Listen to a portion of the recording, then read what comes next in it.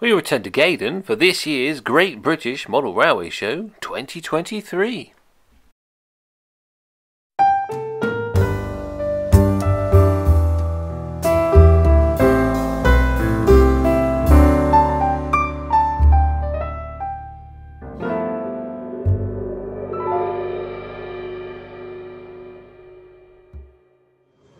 First up is Life in Longmorn by Ian Lamb and the DAVA Project Group, a 4mm scale OO gauge layout.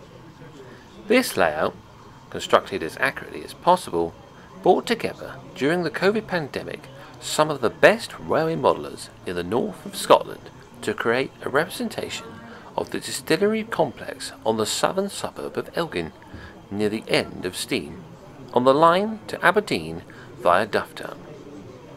It is operated in two sections. The central one displaying the industrial setting of the day, while the outer railway allows mainline trains of the period to be shown.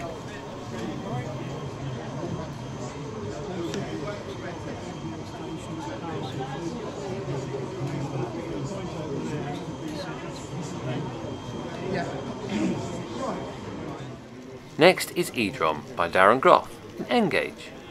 This layout is based on the real Edrom station, which is on the now closed Berwickshire line in the Scottish borders between Chirnside and Duns.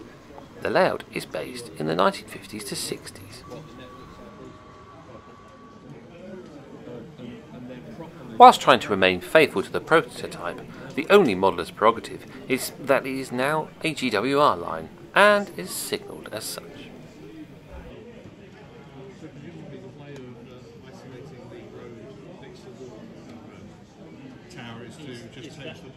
that switch there? Oh, yeah. yeah.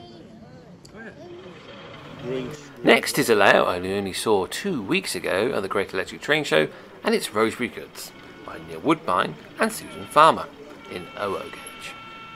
This footage has been brought to you by the boy, and he's filmed it entirely by himself. Not bad, eh?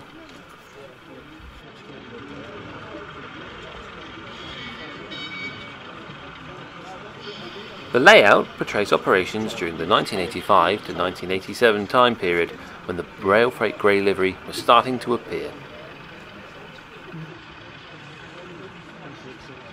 Wagon repair traffic for the South Staff's Wagon Repair Works in Tipton can be seen along with the scrap metal working to Norton Barrow at Bilston.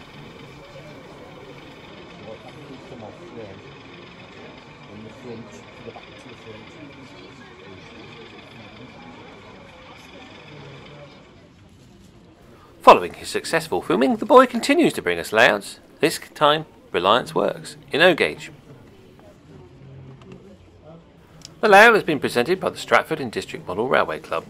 It's an industrial shunting layout measuring just 5 foot by 18 inches.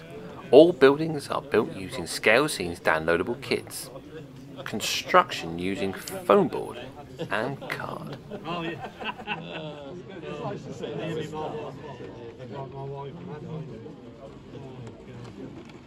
Changes so quick.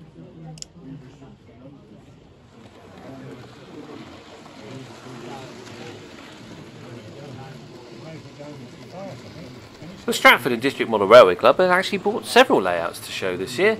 This one is Hathaway St Andrew in a row gauge. It's a DCC controlled layout featuring a double loop. The layout includes a village, garage, church and station, and is one for the public to operate. Their third and final instalment is Chippenham Junction in N-gauge. The name Chippenham Junction is derived from the fact that this area had several meeting points, including one for the Calne branch line. If you pass through Chippenham today, that's a completely different experience and you would never imagine that it was a junction. In fact, all that remains is the two lines either side of the island platform seen here. This layout covers the track from the viaduct and embankment on the east to the point at which the branch line for Calne diverged from the main line. It includes all the buildings present during the period including Orwell House, the main station, Goodshed, Bacon Factory, Westinghouse offices and factories plus the locomotive shed.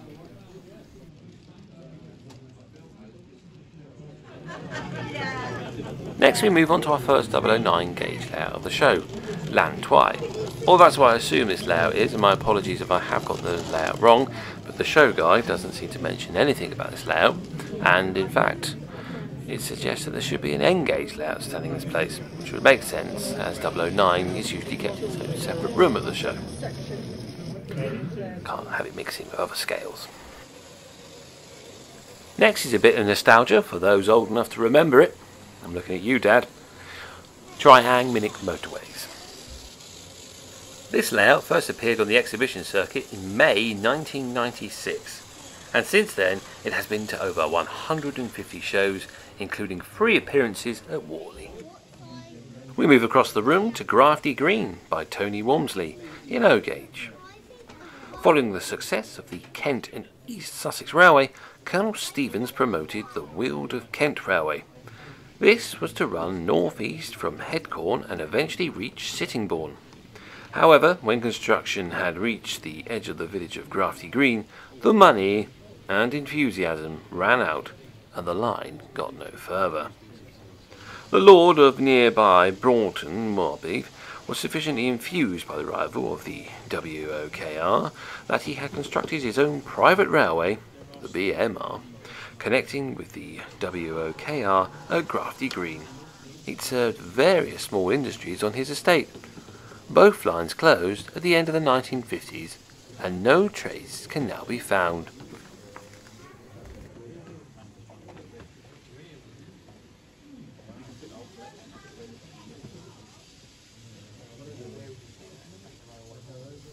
This layout is Tony's first attempt at O-gauge modelling, and his rolling stock is a mixture of kit built and ready to run models.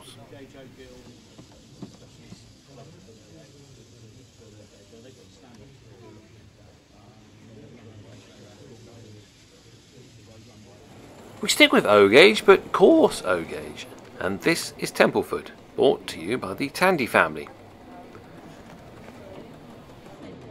The layout consists of a four platform through station with a voiding loop, small goods yard, two further goods sidings and motive power depot with turntable.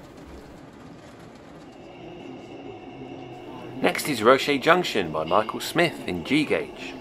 This layout was initially built so he could operate his stock indoors, although G scale refers to garden railway. It is not the largest scale, but probably the largest that is practical for indoor use. It runs through a controlled station where there is also an automated shuttle at one end.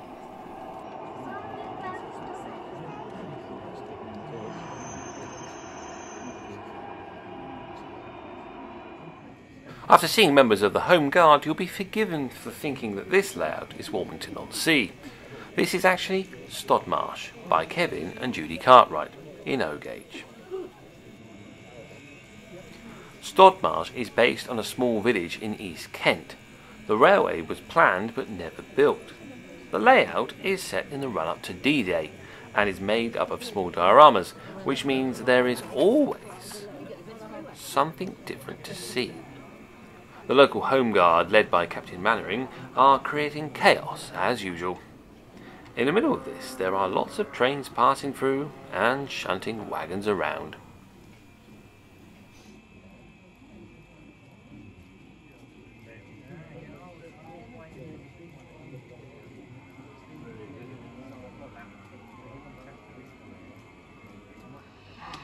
And so we move to the sites of the Great Western, with Lintor Town by Norman Gage in 4mm scale OO gauge. This is a fully DCC operated layout with working points and signals.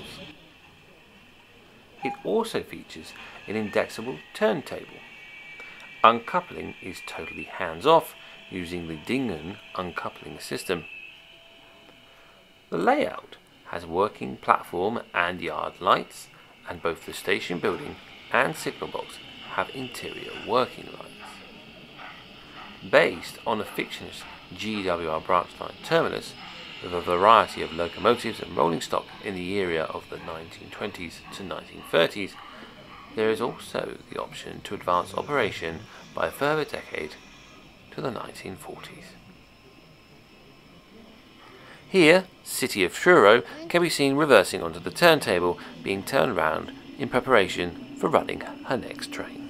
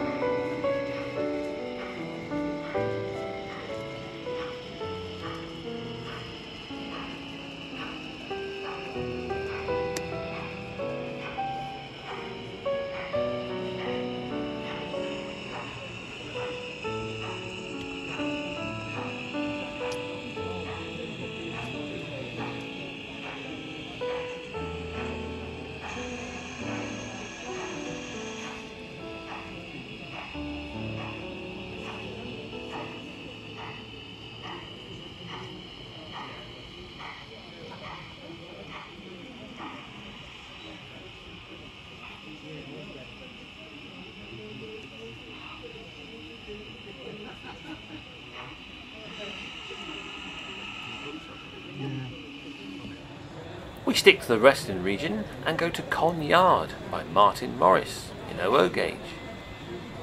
Throughout the 1970s, vast numbers of BR diesel hydraulic locomotives arrived at Swindon Works for disposal, some barely 10 years old. The layout is a condensed representation of the works area known as the Con Yard, with the lines of condemned locomotive and rolling stock, the large corrugated C shop and the two electric yard cranes, the scene is set for a look back in time at a seldom modelled part of BR history. The layout is displayed in a full-size cut cab of a Class 52 Western locomotive.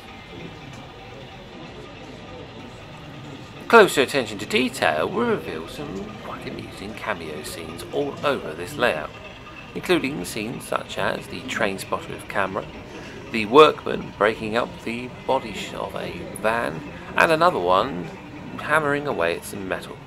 There's also a moving forklift truck in one of the sheds, and vehicles run round in the background.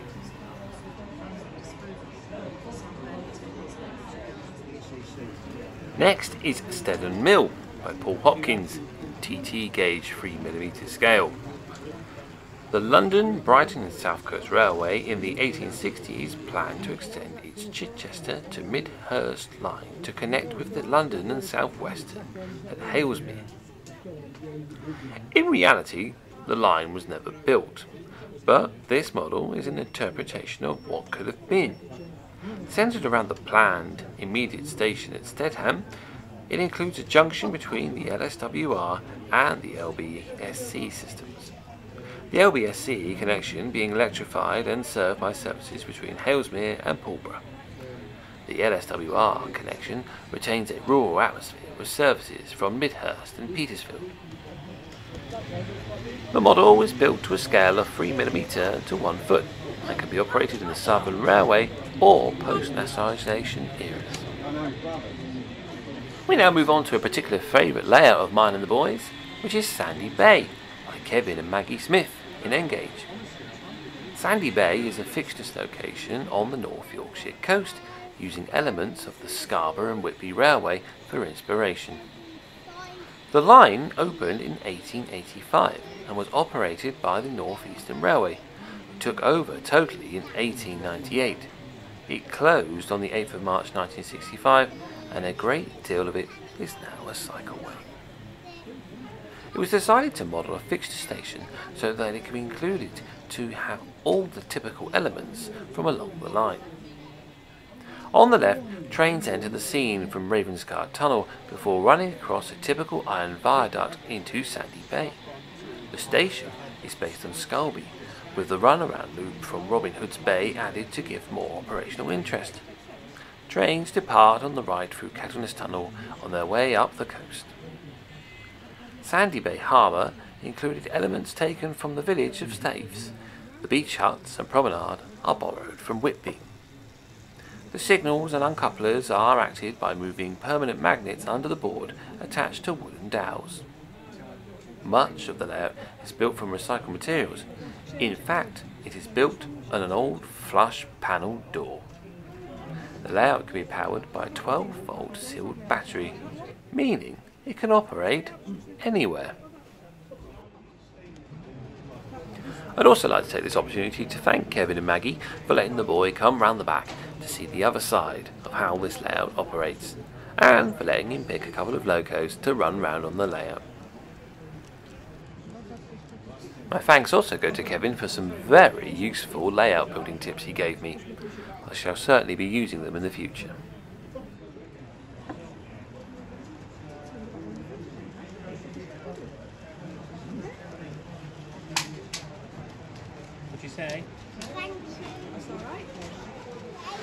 Now we're at Old Sarum, presented by Vintage Layouts.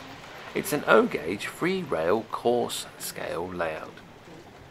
Set on the southern region, with a western region branch, in Wiltshire in early BR days of 1950 to 1955. The stock is mainly modern by Ace Trains, WJ Vintage and Darstaed, but with some vintage Hornby from the late 1950s.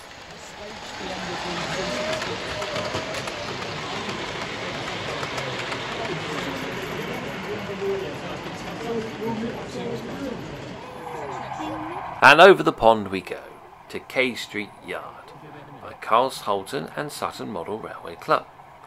This is a 3.5mm scale HO gauge layout. K Street Yard is an idea for the Milwaukee Road switching location set between the late 1950s and the early 1970s. It is fictionally set in the north of Spokane in Washington state.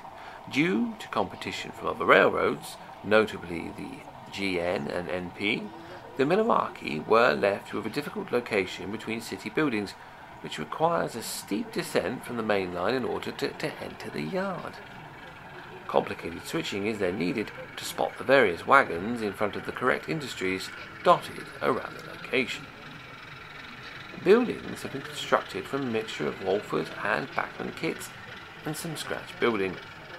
Most have been heavily modified to suit the location to give a wide range of differing facades.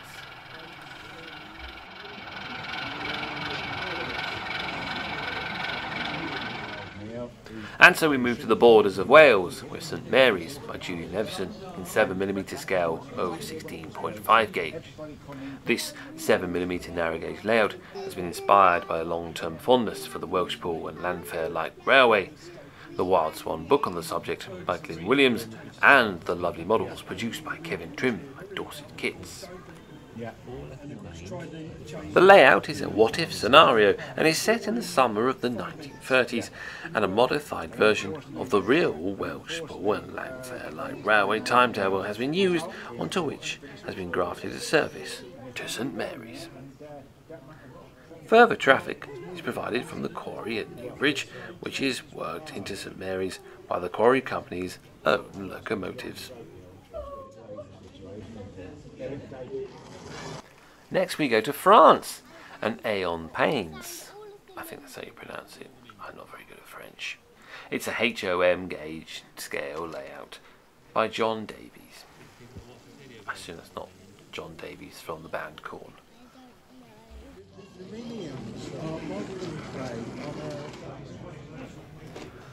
And so we move on to Bow Bowleggett Manor and Farr End by Peter Cullen in 009 gauge. Bowleggett Manor is the country estate of Lord and Lady Fitztightly. Lord Fitztightly has established a narrow gauge passenger carrying railway in the old quarry on the estate. However, the enthusiastic and resourceful volunteers who helped to run the railway have grown tired of going round in circles have constructed an extension down to the market town far end. Now they feel they have a proper railway and more scope for realistic railway operation.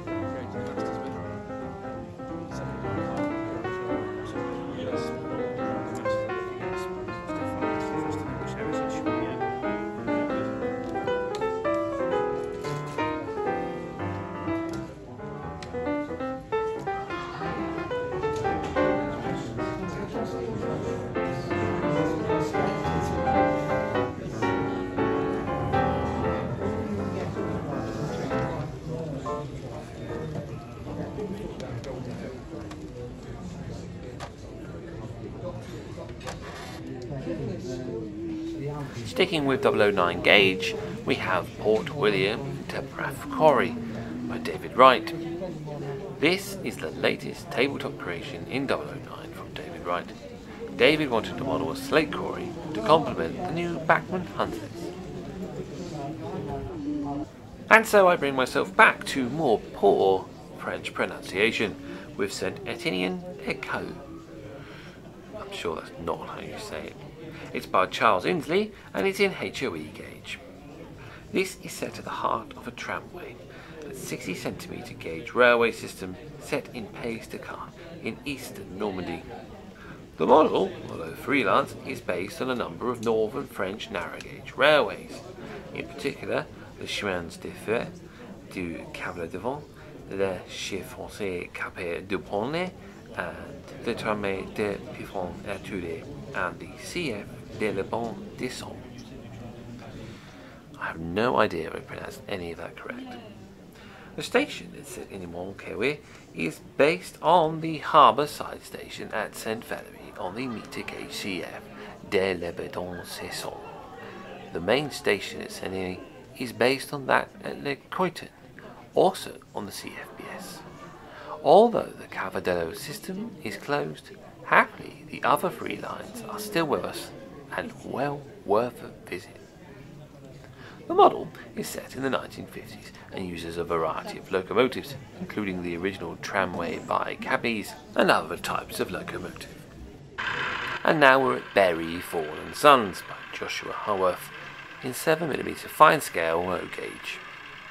Representing a small portion of a fictitious tar distillery set somewhere in the West Riding of Yorkshire in the late 1950s to early 60s, with the rest of the works on the British Railway Exchange sidings being located off-sea. Most of the motive power is ready to run, repainted into the house colours of desert sand, with three of the fleet coming with the layout in its condition and the rest slowly being repainted with the assistance of friends far more skilled in this work than the owner. There are also some kit-built models from a number of suppliers including Judith Edge and Mercian Models, and scratch-built locomotives including a 1929 built Kerr Stuart. The majority of the locomotives are fitted with DCC sound, with some locomotives operating without sound while they await upgrades as funds allow. The layout was originally constructed by Dave, also known as Rustin, on RM Web.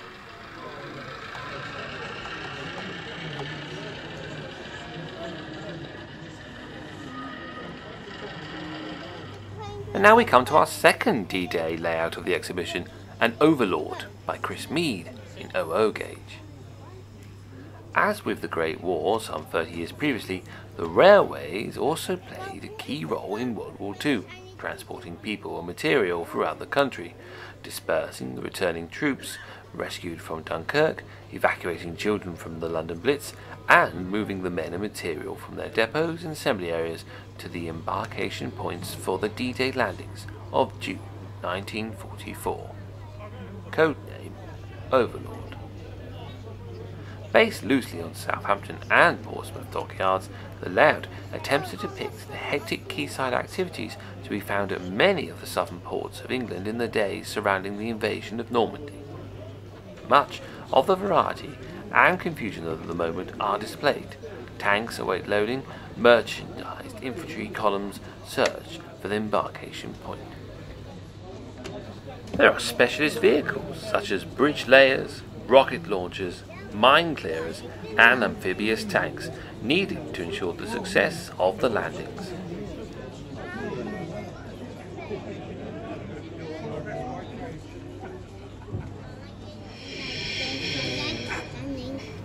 And we return to the Great Western with Tetbury by David Beighton in O Gauge. Tetbury is inspired by books on Great Western branch lines from Paul Karau and Stephen Randolph. These, together with the abundance of O-gauge ready-to-run models and kits from the prototype, drew the layout owner away from many years of continental modelling. While every attempt has been made to model the subject as accurately as possible, there are some simplifications to aid practically at this scale. Stock has been selected as seen in the BR era on the branch line between 1950 and 1964 when the line closed. All locomotives are DCC controlled and have sound modules fitted.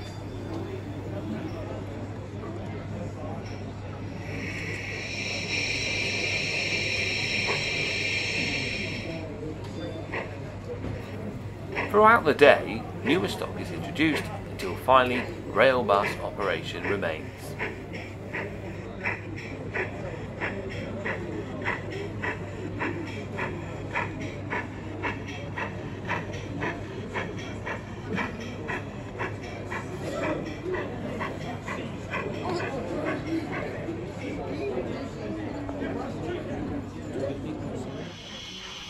Sticking to Great Western, we have Hackworth and Trafalgar Terrace by David Goodwin and the Hackworth Model Railway Group in a gauge.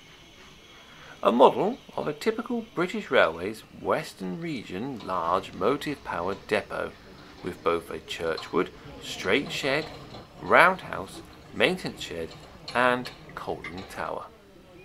The MPD is surrounded by a locomotive works.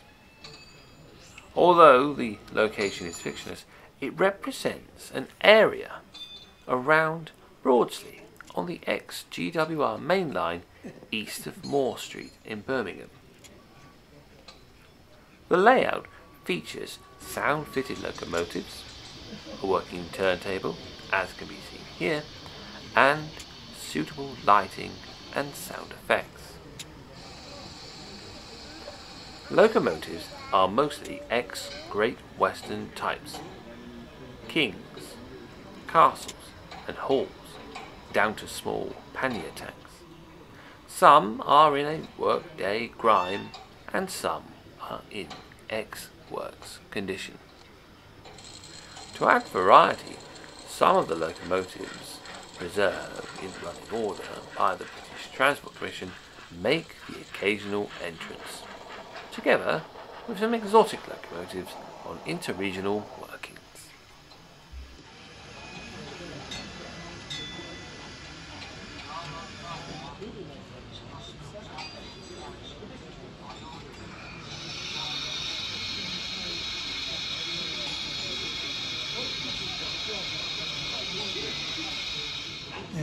Here we catch a pannier tank moving some coal wagons up the embankment towards the coal loader.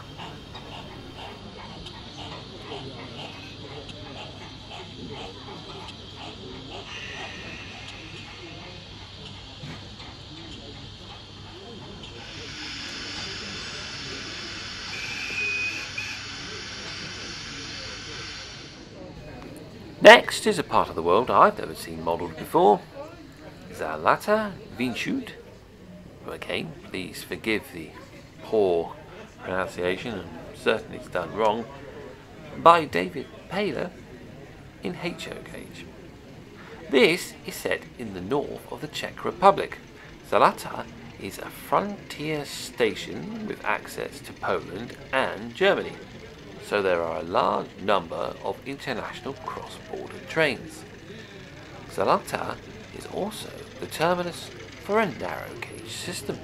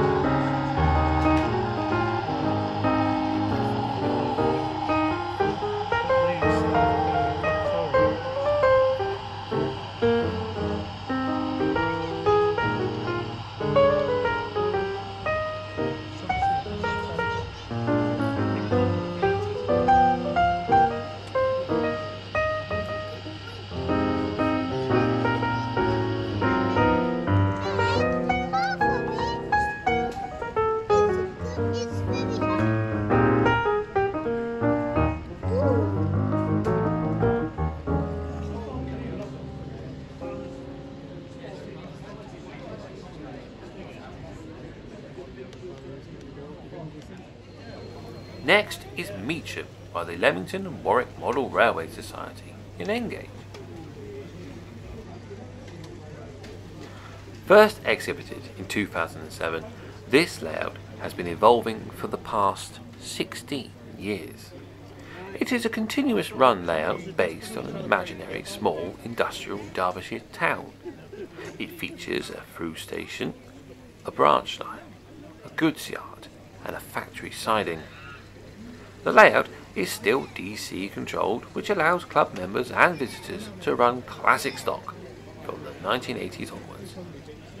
Behind the scenes, there is a semi-automated fiddle yard where the trains move into dead sections and can easily be moved forward by the touch of a switch. This enables plenty of variety and ensures that trains can be kept running at all times. While originally built to reflect the last days of Steam, the varied collection of stock and interests of the members has meant that they have tried to design it so that it would not be out of place in any period from the 1950s to the late 1960s. It is usually operated with the changes of loco and stock as the day progresses, reflecting the passing of time as steam gives way to diesel. How many carriages got? Here we can see A4 Class Sea Eagle pulling into the station of an express train. That's a familiar blue tank engine with a couple of two small carriages arrives in the bay platform. As Sea Eagle waits, a BR Class Standard 4 passes by with its own working. And it just didn't work well. It really did not work well, but yeah.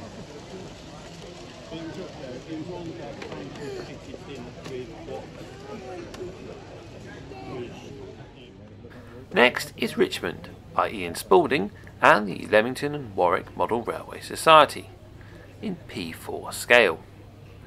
The prototype is the LSWR station of Richmond, Surrey, set in 1908. The layout will eventually show the terminus and mainline buildings, but the layout initially being shown has part of the mainline station, also known as the old station, the original goods yard, and the new station platforms. The layout is modelled to P4 standards. It runs to a timetabled sequence based on actual timetables of the era and is fully signalled.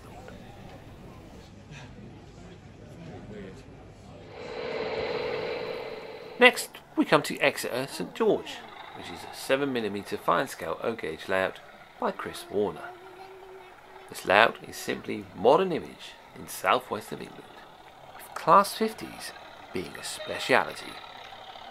And that is certainly true. I believe in this footage alone, you will see at least four Class 50s.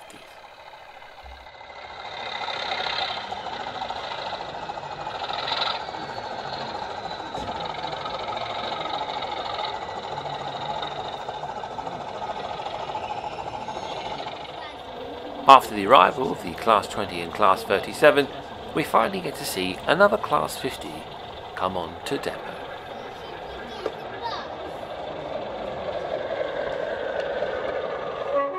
The last of the Class 50s to hold on to the BR large logo blue 50046 Ajax arrives at the depot.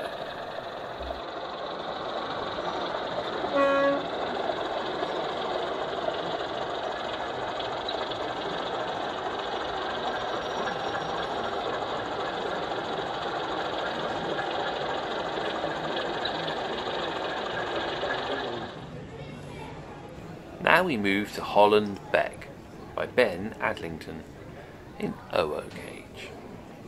This is a modern image end-to-end layout based on the area south of the Humber in the north east of Lincolnshire.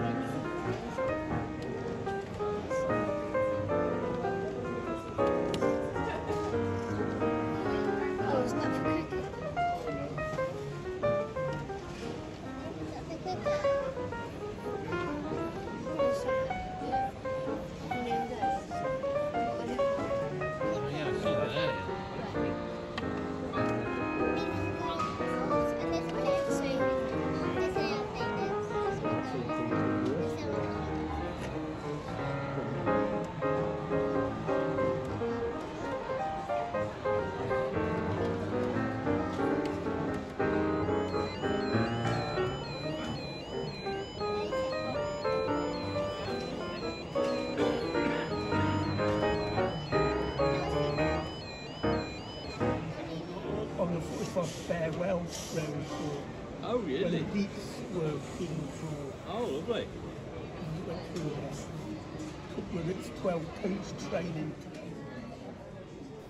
We now find ourselves at Hind-Leigh Yard by Stuart Bailey and Craig Holt of the Hindley Green Model Railway Group. Its layout is OO gauge. It's a fictionist layout based in northwest England in the 1970s.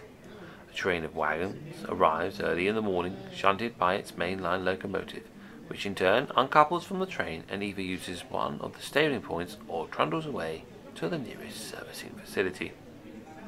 The shunters then get to work, splitting the train up, pushing and pulling the various vehicles into the warehouses for loading and unloading. Then a new train of wagons is formed, ready to hauled away by a locomotive. It's a great opportunity to see the various wagon types in the use in the period model. The yard is DCC controlled with various sound fitted locomotives.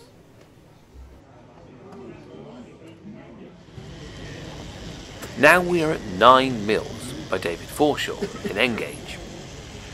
Built as an early 1960s steam diesel transition layout, Nine Mills has been widely exhibited and has featured in all the major modelling magazines.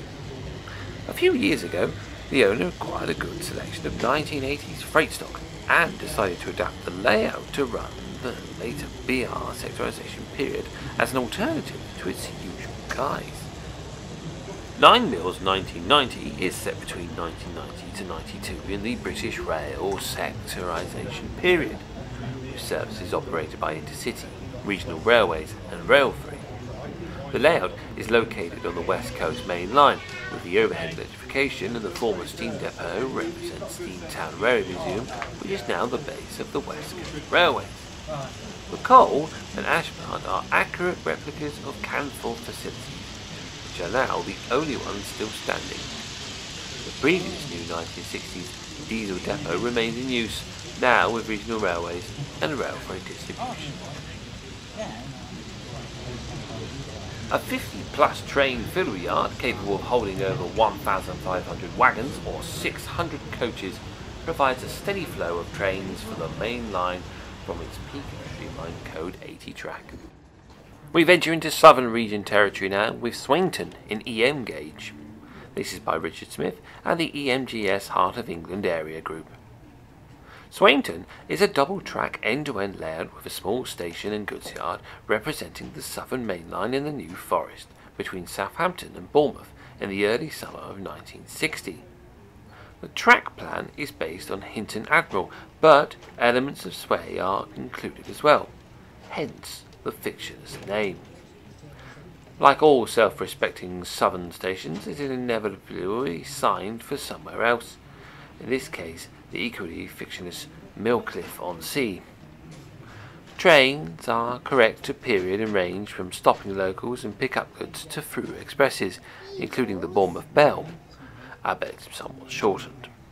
All trains are hauled by locomotives known to have run on the line, including Drummond, Maunsell, Bulleid, and BR standard classes. Stock includes kit-built models, as well as converted proprietary items. Operation is to a sequence based on actual timetables of the period though with a significantly more frequent service and in prototypical manner as far as possible. The layout features hand-built pointwork using C&L components, authentic pattern, SR line side fencing, and working signals, including ground signals, based on the LSWR and SR prototypes. All buildings are scratch built, control conventional DC using controllers. Given that the train is quite long, I tend to go to about here.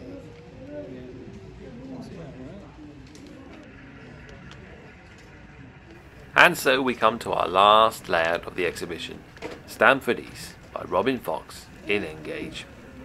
This layout is based on a real location, the former Great Northern Railway terminus at Stamford in Lincolnshire, that once linked the town to the East Coast Main Line at Essendine. I hope you've enjoyed this video, and if you have, then please click the like button at the very least. If you want to do one better, then click the subscribe button, and hopefully I'll see you again sometime soon. Thanks for watching. Train